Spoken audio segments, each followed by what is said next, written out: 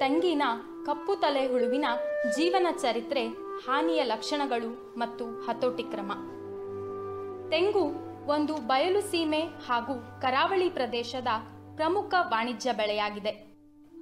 ಸಸ್ಯ ಸಂಕುಲದಲ್ಲಿಯೇ ಕಲ್ಪವೃಕ್ಷವೆಂದು ಪ್ರಸಿದ್ಧವಾಗಿರುವ ತೆಂಗಿನ ಮರದ ಪ್ರತಿಯೊಂದು ಭಾಗವು ಮಾನವನಿಗೆ ಪ್ರಯೋಜನಕಾರಿಯಾಗಿದೆ. ಈ ವಾಣಿಜ್ಯ ಬೆಳೆಗೆ ಹಲವಾರು ಕೀಟಗಳ ಹಾನಿಯಿಂದ ಇಳುವರಿಯು ಗಣನೀಯವಾಗಿ ಕಡಿಮೆಯಾಗುತ್ತಿದೆ. ಅವುಗಳಲ್ಲಿ ಪ್ರಮುಖವಾಗಿ ಎಲೆ ತಿನ್ನುವ ಕಪ್ಪು ತಲೆಯ ಹುಳವು ಒಂದು. ಮೊದಲಿಗೆ ಈ ಕೀಟದ ಹಾವಳಿಯು ಪಶ್ಚಿಮ ಕರಾವಳಿಗೆ ಮಾತ್ರ ಸೀಮಿತವಾಗಿದ್ದು, ಕ್ರಮೇಣ ಒಳನಾಡಿನ ತೆಂಗು ಬೆಳೆಯುವ ಮುಖ್ಯ ಪ್ರದೇಶಗಳಾದ ತುಮಕೂರು, ಚಿತ್ರದುರ್ಗ, ಶಿವಮೊಗ್ಗ, ಚಿಕ್ಕಮಗಳೂರು, ಹಾಸನ, ಮಂಡ್ಯ, ಬೆಂಗಳೂರು ಹಾಗೂ ಕೋಲಾರ ಜಿಲ್ಲೆಗಳಲ್ಲಿಯೂ ಪಸರಿಸಿ ಇದರ ಹಾವಳಿಯು ವ್ಯಾಪಕವಾಗಿರುವುದು ಕಂಡುಬಂದಿದೆ. ಕಪ್ಪು ತಲೆ ಹುಳುವಿನ ಜೀವನ ಚಕ್ರ. ಎಲೆ ತಿನ್ನುವ ಕಪ್ಪು ತಲೆ ಹುಳುವು ನಾಲ್ಕು ಹಂತದ ಜೀವನ ಕ್ರಮವನ್ನ ಹೊಂದಿದ್ದು, ಮೊಟ್ಟೆ, ಮರಿಹುಳು, ಕೋಶ, ಪ್ರೌಢ ಕೀಟಗಳಾಗಿ ಕಂಡುಬರುತ್ತದೆ. ಇದನ್ನು ವೈಜ್ಞಾನಿಕವಾಗಿ ಒಪ್ಪಿಸಿನೋ ಆರಿನೋಸೆಲ್ಲಾ ಎಂದು ಕರೆಯುತ್ತಾರೆ. ಈ ಕೀಟವು ಜೀವನ ಚಕ್ರ ಪೂರ್ಣಗೊಳಿಸಲು ಐವತ್ತೈದರಿಂದ ಎಪ್ಪತ್ತು ದಿನಗಳನ್ನ ತೆಗೆದುಕೊಳ್ಳುತ್ತದೆ.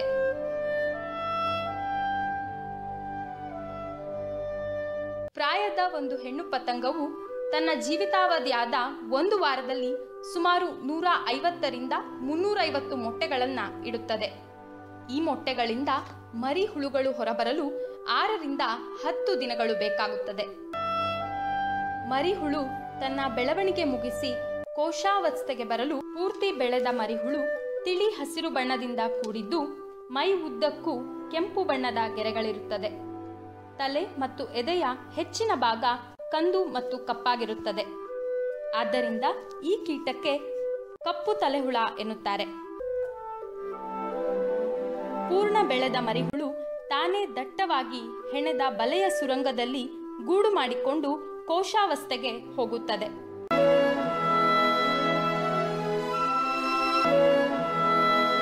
ಒಂದು ವಾರದ ನಂತರ ಕೋಶದಿಂದ ಪೂರ್ಣ ಬೆಳೆದ ಪತಂಗವು ಹೊರಬರುತ್ತದೆ.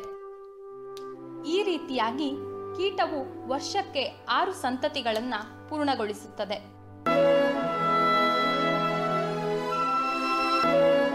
ಕಪ್ಪು ತಲೆ ಹುಳುವಿನ ಹಾನಿಯ ಲಕ್ಷಣಗಳು. ಕಪ್ಪು ತಲೆ ಹುಳುವಿನ ಜೀವನ ಚಕ್ರದಲ್ಲಿ ಮರಿಹುಳುವು ಬೆಳವಣಿಗೆಗೆ ಹಾನಿ ಮಾಡುವ ಹಂತವಾಗಿರುತ್ತದೆ. ಈ ಮರಿಹುಳವು ಗರಿಗಳ ತಳಭಾಗದಲ್ಲಿ ದಟ್ಟವಾದ ಬಲೆಗಳನ್ನು ಹೆಣೆದು ಅದರಲ್ಲಿ ಸೇರಿಕೊಳ್ಳುತ್ತದೆ. ನಂತರ ಗರಿಯ ಹಸಿರು ಭಾಗವನ್ನು ಕೆರೆದು ತಿನ್ನುತ್ತವೆ. ಈ ಕೆರೆದು ತಿಂದ ಭಾಗವು ಒಣಗಿ ಕಂದು ಬಣ್ಣದ ಮಚ್ಚೆಗಳಂತೆ ಕಾಣುತ್ತದೆ. ಕ್ರಮೇಣ ಈ ಮಚ್ಚೆಗಳು ಒಂದಕ್ಕೊಂದು ಸೇರಿಕೊಂಡು ಇಡೀ ಗರಿಗಳೆಲ್ಲ ಒಣಗಿದ ಹಾಗೆ ಕಾಣುತ್ತವೆ.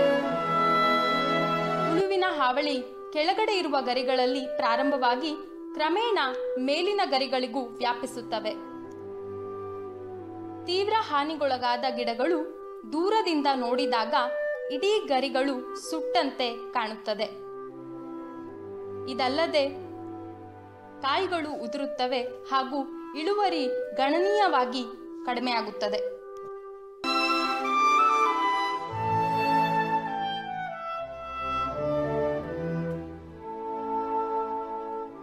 ಕಪ್ಪು ತಲೆ ಹುಳುವಿನ ಹತೋಟಿ ಕ್ರಮ. ಬೇರಿನ ಮೂಲಕ ಉಪಚಾರ. ಕೀಟಬಾಧಿತ ತೆಂಗಿನ ಮರಗಳಿಗೆ ಬೇರಿನ ಮೂಲಕ ಕೀಟನಾಶಕ ಕೊಡುವ ವಿಧಾನವು ಬಹಳ ಪ್ರಮುಖ ಹಾಗೂ ಪ್ರಯೋಜನಕಾರಿಯಾಗಿದೆ. ಕೀಟಬಾಧಿತ ಮರದ ಬುಡದಿಂದ ಸುಮಾರು ಅರವತ್ತರಿಂದ ತೊಂಬತ್ತು ಸೆಂಟಿಮೀಟರ್ ದೂರದಲ್ಲಿ ಅಗೆದಾಗ ಬೇರುಗಳು ಕಂಡುಬರುತ್ತದೆ.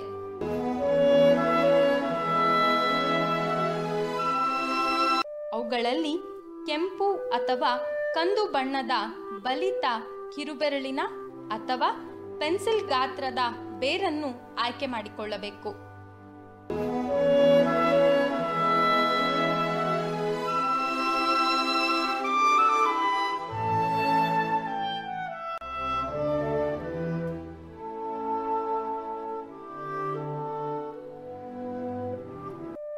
ಆಯ್ಕೆ ಮಾಡಿಕೊಂಡ ಬೇರನ್ನು ಓರೆಯಾಗಿ ಕತ್ತರಿಸಿ ಸಿದ್ಧ ಮಾಡಿಕೊಳ್ಳಬೇಕು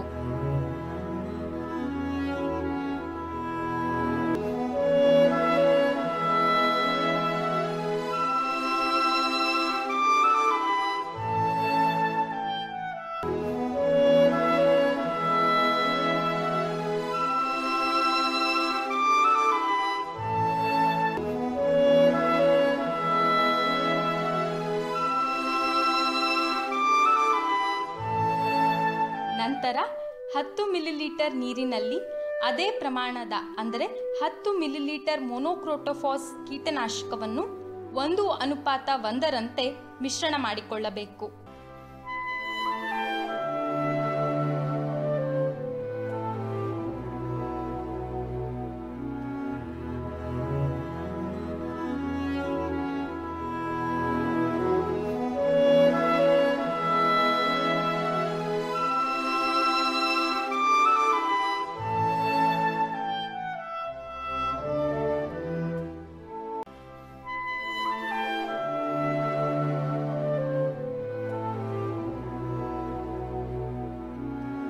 ಈ ಮಿಶ್ರಣವನ್ನು ನಾಲ್ಕು ಸೆಂಟಿಮೀಟರ್ ಅಗಲ ಮತ್ತು ಹತ್ತು ಸೆಂಟಿಮೀಟರ್ ಉದ್ದದ ಪಾಲಿಥೀನ್ ಚೀಲದಲ್ಲಿ ಹಾಕಿ.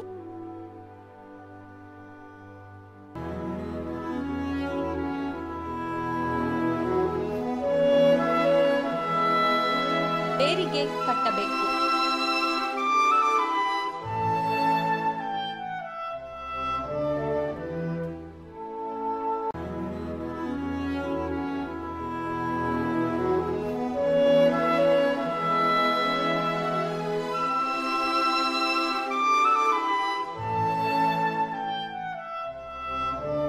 ಓರೆಯಾಗಿ ಕತ್ತರಿಸಿದ ಬೇರಿನ ಭಾಗವು ಕೀಟನಾಶಕದಲ್ಲಿ ಸಂಪೂರ್ಣವಾಗಿ ಮುಳುಗುವಂತೆ ನೋಡಿಕೊಳ್ಳಬೇಕು.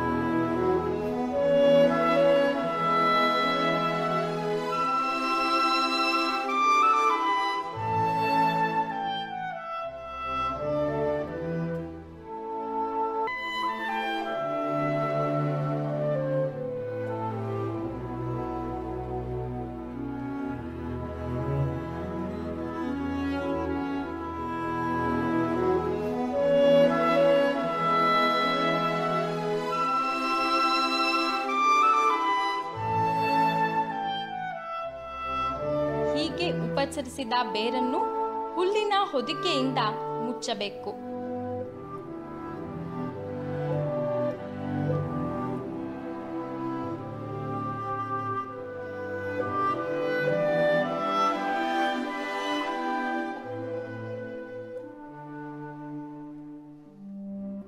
ಉಪಚರಿಸಿದ ಇಪ್ಪತ್ನಾಲ್ಕು ಗಂಟೆಗಳ ನಂತರವೂ ಬೇರು ಕೀಟನಾಶಕವನ್ನ ಹೀರಿಕೊಳ್ಳದೇ ಇದ್ದರೆ ಅದೇ ಮರದ ಬೇರೆ ಸೂಕ್ತವಾದ ಬೇರಿಗೆ ಮತ್ತೆ ಉಪಚಾರ ಮಾಡಬೇಕು. ಮತ್ತೊಂದು ಪ್ರಮುಖವಾದ ಅಂಶವೆಂದರೆ ಕೀಟನಾಶಕ ಉಪಚರಿಸಿದ ಮರದಿಂದ ಸುಮಾರು ಮೂವತ್ತರಿಂದ ನಲವತ್ತು ದಿನಗಳ ತನಕ ಮರಗಳ ಕಾಯಿಗಳನ್ನು ಅಡುಗೆಗೆ ಅಥವಾ ಎಳೆನೀರನ್ನು ಕುಡಿಯಲಿಕ್ಕೆ ಉಪಯೋಗಿಸಬಾರದು.